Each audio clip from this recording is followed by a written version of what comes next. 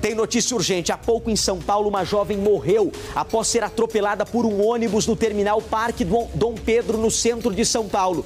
Foi agora, pouquinho, há poucas horas, o rapaz teria se desequilibrado e em seguida teria sido atropelado pelo ônibus. O rapaz que morreu, 29 anos, ele ia completar amanhã. Abraão Ramos, do local. Bom dia, Abraão.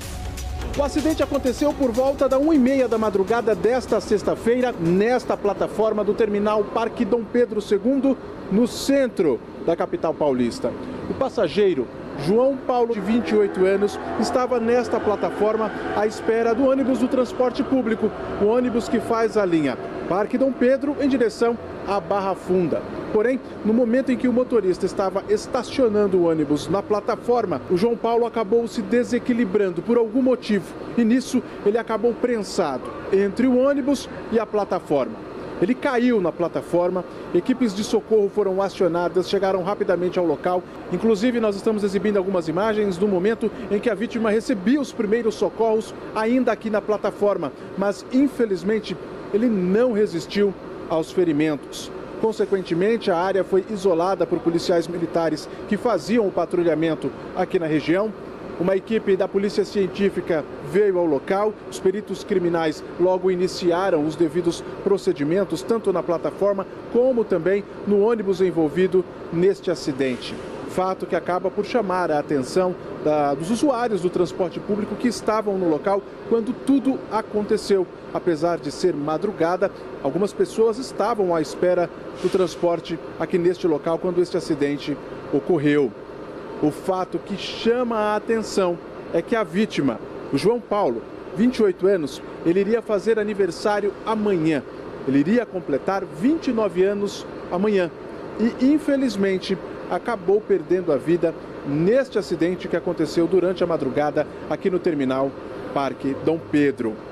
Vale dizer que o motorista do ônibus envolvido no acidente, ele foi levado ao oitavo distrito policial, delegacia em que esta ocorrência foi registrada. A Polícia Civil vai instaurar o inquérito, os devidos procedimentos policiais serão instaurados para apurar como tudo aconteceu neste acidente que infelizmente acabou terminando na morte de um passageiro.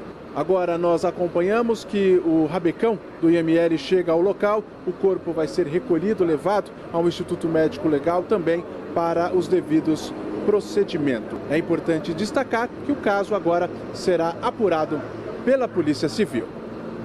De São Paulo, Abraão Ramos, para o primeiro impacto. Sobre o caso do Abraão atropelamento aí, nós estamos entrando em contato agora com a empresa responsável pelo ônibus e a qualquer momento podemos voltar nesse caso. Um jovem que faria aniversário amanhã morreu hoje, atropelado agora há pouquinho no Parque Dom Pedro, no terminal ali no centro de São Paulo. Acabou de chegar uma nota oficial sobre esse caso, né, Ayrton?